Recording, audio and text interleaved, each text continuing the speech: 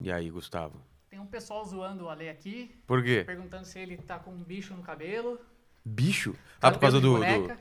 Eu não tô vendo. Ah, porque também teve uma outra coisa que aconteceu na minha vida.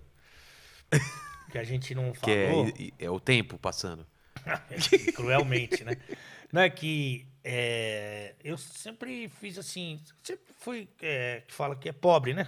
É, é pobre que Então eu chama. fiz muita ação de tudo, permuta de tudo, tudo, tudo, tudo. Aí teve uma vez que o cara chegou pra mim e falou assim: Ô Ale, você tem interesse em colocar uma prótese? Aí eu olhei e falei assim: olha, eu acho que dá, dá pra aguentar mais um tempo. Falou: não, não, é capilar. Falei, o que é prótese capilar? Eu não sabia que era uma peruca. É, uma peruca Nutella. Prótese capilar. Ah, é? É, eu não tô com ela agora, não adianta Tá. você olhar. É. E aí que eu fui entender o que, que era. E era assim: o cara raspa aqui o, onde você não tem cabelo. E aí pega um cabelo de verdade, mas que não é o teu, cabelo de alguém. Tá. No meu caso, acho que foi de uma, de uma chinchila morta. e, e gruda aqui, ele gruda. Meu Deus. Tipo um complemento Não é cabelo. implante, ele não fura. Não, não, só ele gruda. cola. Tá. E por isso chama uma prótese, ele põe uma prótese aqui.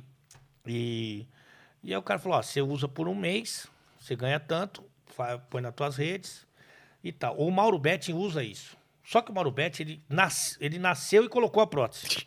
Então ninguém nunca viu o Mauro Betti com outro cabelo que não fosse aquele carpete. Entendi. Então a pessoa se habituou àquilo. Eu não, cara, eu já tava bem, assim, um pouco conhecido. E do nada parecia com uma chinchila na cabeça, com a boina do, do, do, do Bop na cabeça. Aí a sorte, e isso aí foi muito legal, cara, que eu ganhei, eu ganhei é, muito seguidor por causa das brincadeiras que eu fazia com a chinchila. Eu botei o nome de chinchila e, e ficava brincando o tempo todo com isso.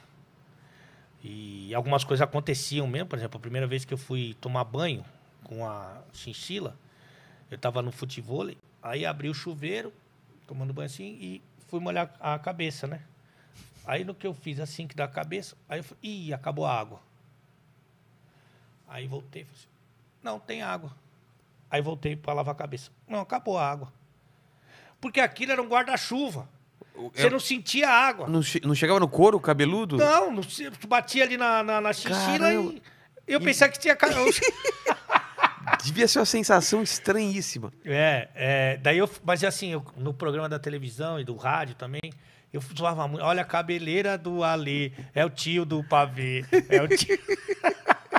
O pessoal te chama de tio do pavê ou é você que colocou essa Ah, os caras brincam bastante com isso lá no Fritada quando eu fui, eles falavam muito disso, assim, dessas, é, dessas tiradas assim, mais de tiozão e tal. Mas eu ficava zoando com a chinchila pra, pra caramba, muito assim. E, e aí era uma coisa bem pouco natural, assim, né? Ficava bem ridículo mesmo. E ainda te, te dava um trabalho, porque eu pensei que ia ficar um mês só. Só que passaram 15 dias, depois 30, depois 40, depois 50. E o meu cabelo aqui de baixo não crescia. Eu falei, como é que eu vou tirar essa caralha É. se o se meu cabelo não cresce? Porque tava abafado, era por causa E, disso? e também é fraco já, né? Já tá morto, né? E, e aí eu fui ficando refém da chinchila. eu fiquei três meses com a chinchila. E não aguentava mais. Você tem que ir toda semana, você tem que ir lá pra lavar, pra botar outra cola. Nossa. E aí teve uma semana lá que eu tinha marcado na quinta-feira de ir e os caras me chamaram pra jogar futebol. No meu caso, fat vôlei, né? Que seria o nome correto. E aí eu fui jogar futebol e não fui na manutenção. Beleza. Aí fui dormir, acordei no dia seguinte, tô indo pra TV, aí eu olhei assim no retrovisor, cara, a chinchila tava do avesso. Simplesmente perdeu a cola. O E que? Ela, ela andou? Ela virou. Da, de noite eu dormindo. Nossa. Aí eu tentava ajeitar, cara, mas, puta, não deu. Parecia que eu tava de costa. Ficou um, um topetão Ficou assim? uma coisa, puta, muito Nossa. ridícula. Tá no meu Instagram aqui lá. E, pra aí- tirar isso daí, como que é? Então, aí, porque como fazia tempo que, a, que eu não ia na manutenção, a cola foi perdendo a cola. Ah, tá. Então ali ficou mais pra solta. Aí eu fiz o decreto, era uma sexta-feira ainda, pra me piorar. Fiz o decreto de sexta-feira, postei, puta, 6 mil comentários. 7 mil falando da chinchila. Ninguém nem ligou pro texto. Porra, chinchila tá do avesso, não sei o que, não sei o que lá. Cara, eu vou ter que ver esses vídeos. É, tá tudo lá. E aí eu cheguei pro Rodrigo Rodrigues, saudoso Rodrigo Rodrigues, e sem ninguém ouvir, nem os diretores, nem os colegas, falei assim, ó, quando for acabar o programa, que a gente for se despedir, você vem e arranca a chinchila. Aí, beleza, ele, olha, muito obrigado, na segunda-feira a gente volta, não sei o quê, e eu vou fazer uma coisa que eu tô com vontade faz tempo. Pum, e saiu lá o dele. E eu careca. Isso aí foi pro, tipo CQC, sabe, tipo CQC? Sei, sei. É aquele top 5. É. Foi pro mundo semana. inteiro. Caramba. Pro mundo inteiro. Tem- então, o pessoal procurar vai ver isso daí. Quem não viu. Puta, vai ver muito. tá? Cara, E que tá no meu maravilha. Instagram também. Ah, tá. Eu vou ver, vou ver E por tem lá. uma então. cena que é muito engraçada, que depois a gente fez o VAR do, da chinchila. o Mauro Betti estava do meu lado. A hora que o Rodrigo arranca a minha, minha chinchila, o Mauro vai saindo de filhinho. Achando que ia sobrar pra ele, cara. E aí o... foi até curioso, cara, que. Aí eu. é, Acabou o programa, né? Eu botei um boné pra sair do, da TV pra... e fui direto pro, pro pet shop, que seria o, o lugar da prótese. Cara, a hora que eu cheguei lá, eu tava meio bêbado. Não sei se aconteceu isso com você. Tava meio bêbado de mensagem, assim, de repercussão, né? Porque Sei. teve o decreto, ele arrancou a chinchila. Aí eu fiz as postagens ali, né? E chegando muita mensagem, o celular bombando, sabe? Você fica meio tonto, assim, né? Sei. De tanta informação, de tanta coisa que chegou. E aí saindo no, na, nos, no- nos sites e tudo, porque é uma coisa meio inédita, né? Com O certeza. cara arrancar a peruca do, Ao, ao vivo. ao vivo. e aí eu fui direto pro. Assim, foi meio que sem pensar, eu fui lá pro, pro pet shop lá. Cheguei lá, cara. O, eu não sei se eu, acho que eu nunca falei isso. Cheguei lá, o filho. Não tava o dono, tava o filho do dono. Que devia ter 13 anos. Não, 13 não tinha, mas tinha uns 20 anos, vai. Aí eu cheguei lá, tô ali sentado, esperando pra ser atendido. O, o moleque, ele cagou na minha cabeça. Seu irresponsável, que você onde já se viu.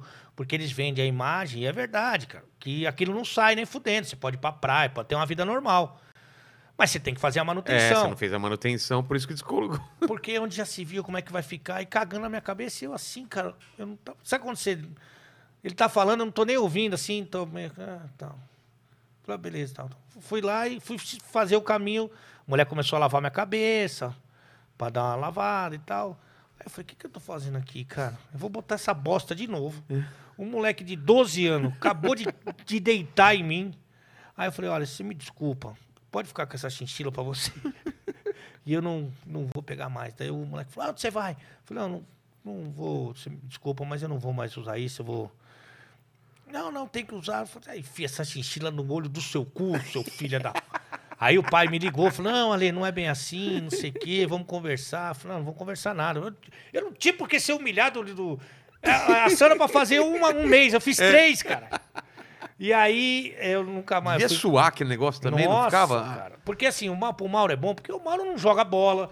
Ele, o Mauro escreve livro, um atrás do outro. Fica só no ar-condicionado. Ah, e daí pro Mauro fica bom. Várias pessoas. Eu fa- faço atividade, bebo, sou Me ofereceram um transplante capilar da aí. Turquia lá. Não, aqui do, do interior aqui. Você fez? Vo- O Morgado fez, eu ia fazer, só que agora com, com o lockdown eles adiaram porque estão precisando dos leitos dos hospitais lá. É, eu acho muito agressivo, assim. É, né? cara. E eu, e assim, eu, é a mesma coisa que você querer reformar um Fusquinha 78. Eu não vou mexer na minha estética, só se for por dinheiro. O cara também falou, quer fazer? Eu falei assim, ó, irmão, se você me pagar, eu faço. Eu- só a pergunta não. É, Porque é um pouco agressivo, né? deve O- ser, porque ele arranca, tira daqui, sei lá. E eu tenho lá. medo de ficar que nem o, o Diogo Portugal também, que. O Diogo fez umas Parece duas um ou três kiwi, que né? deu errado, né? É. É. Parecia um kiwi. Cabelo de boneca, né? É, Mas é. agora ele foi pra Turquia, parece que agora deu É, certo, foi hein? com o Alex, né? Foi porque ele levou o Alex junto. É, Aí Os exatamente. caras falaram, ó, vamos acertar que o Alex tá aí.